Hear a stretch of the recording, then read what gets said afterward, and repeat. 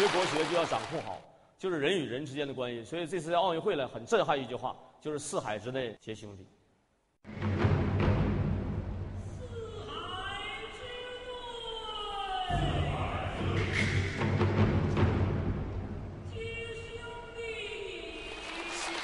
所以人际关系很重要，啊，包括这种朋友文化。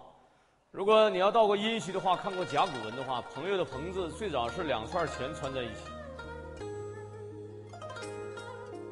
你看“朋”字就这么写的啊，这也很有意思。其实有的时候你挣不着钱，往往是因为朋友太少和朋友质量不高，同意吗？啊，跟我说一句话：有贤推举。方显胜，能人帮衬，方为王。所以我看你领导当的好不好，我看看你的下面有没有能人在帮衬你，有没有贤德的人在推崇你，在推举你。啊，另外再送给你们一个心态啊，大声跟我说包容心。再说一遍。就像咱们这个清华班有一次在泰山上去讲课，刚上山的时候，咱们这些老总往山上一站，掐个腰都在那儿。啊，朗诵诗什么会当一览，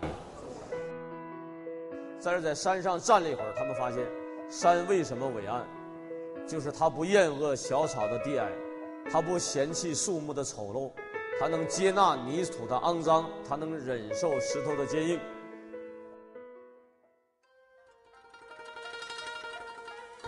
所以，山不让尘，故能成其高；海不辞流。故能成其深。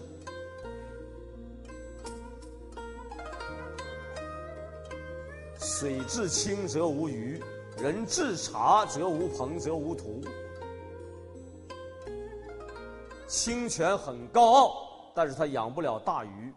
鱼龙混杂，粗枝烂叶，那叫江，那叫海，那叫湖。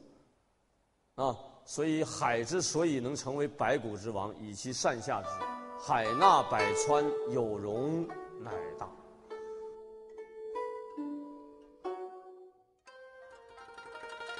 啊，李云龙可以把俘虏兵放到身边当警卫员，啊，毛泽东可以把我军有生力量的建设用在前线的俘虏兵上，所以外国人很啊崇拜一个人，叫乾隆。他们说乾隆太会用人了。那天我跟他们交流，他说连和珅那样的人怎么能用的那么好？看到这儿，我们不禁要问：和珅贪赃枉法，利用职权搜刮民脂民膏，是历史上有名的贪官。那么，为什么还有人称赞乾隆会用人呢？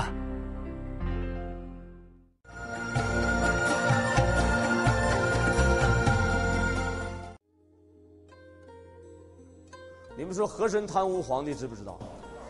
他那么一老贪，能不知道吗？但是和珅。他贪污，皇帝发现有特点是可以包容的。你们到北京的恭亲王府去看看，和珅把贪污来的绝大部分的东西，在他的宅子外面盖了个藏宝楼，而且分门别类、整整齐齐的码在那儿。皇帝一看，这哪是贪污，这是给国民经济在做储存呐。最后怎么样？和珅全部献给了什么国家？人家皇帝一切都在掌控，一切都在包容当中。条早就写好了，怎么回事其实人家全知道，所以我在北京没事我愿意坐着那个拉的黄包车或者蹬的三轮车，在北海后海，然后去喝喝茶，静静心。我更愿意听那些拉车的人讲的那些段子，你在书本上根本没有。所以有一次我坐那个车路过和珅那个宅子的时候，一提到和珅，他赞美之词溢于言表。他说和珅这个人太懂事了，哪个领导有这样一个下属，你就烧高香吧。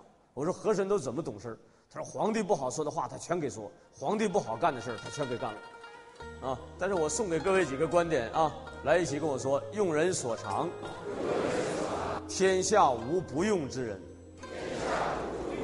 用人所短，天下无可用之人；用人所长，必容人所短。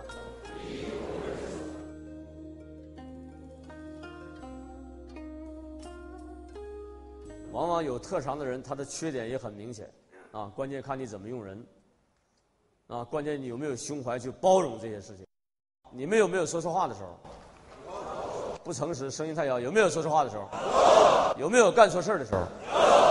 有没有撒过谎？有没有骗过人？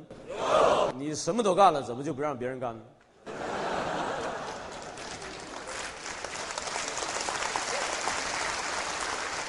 所以在用人上，关键要把握好一个度。所以，什么叫领导？领导者的价值在于把追随者培养成领导者。训练一个人、一个团队，也是从思考力、行动力、表达力上开始训练。俗话说：“人生如战场，成功总是属于事先确定目标、善于抓住时机的人。”余下故事中女主人公的成功经历是如何印证这一道理的呢？有一次，咱们北京啊，咱们有一个酒店，老在那儿上一些总裁班的课，甚至 MBA、EMBA 这些课都在那儿上。结果我就发现，有一个服务员，我观察他有一个动作做了将近一年半了。我每次讲课我都能看见他，他就给别人倒完水，服务完了之后。他就在后面拿着一个本子站着，而且站的姿势也很端正，就在那拿个本在那做记录。然后我就感觉到，因为我们老师讲课能感觉到谁能不能听懂，或者他讲话对你的反应怎么样。我就发现到他搁那听课的反应非常快，就你没讲话的时候，他可能你是有感觉的。然后有一次我讲到一次课程，我说没有目标的人都是在为有目标的人实现目标。啊，我讲到人要做自己的职业规划、生涯规划的时候，没想到他下课找到那个贵宾室，他说：“蔡教授。”啊，你能不能帮我做一下我的生涯规划？我说你什么学历？他说高中。他发现我一愣的时候，他说高中怎么的了？我没上过大学，不等于我没读过大学的书。他说再说，我每次回到家里，我都有一种决定。我说你有什么决定？我们家里很贫穷，啊，我虽然不是富人的后代，但是我决定我要成为富人的祖先。你看一个小孩那个小女孩从他嘴里说出这样一句话，我都挺震撼。我一看孺子，啊，所以我说你不要过高的估计自己现在的能力，但是绝不能过低的估计自己将来的能力。你把服务工作先干好，啊，但是有的人正好相反啊，过高的估计自己现在的能力，反而过低的估计自己将来的能力。因为优秀，他难以卓越。我帮他列了个书单，帮他做了一些规划，而且他继续在那个地方，每次上课的时候，我还是观察他在那仔细记。他每个月他说他吃住都不花钱，他所有的工资几乎都买书看了，就这样又过。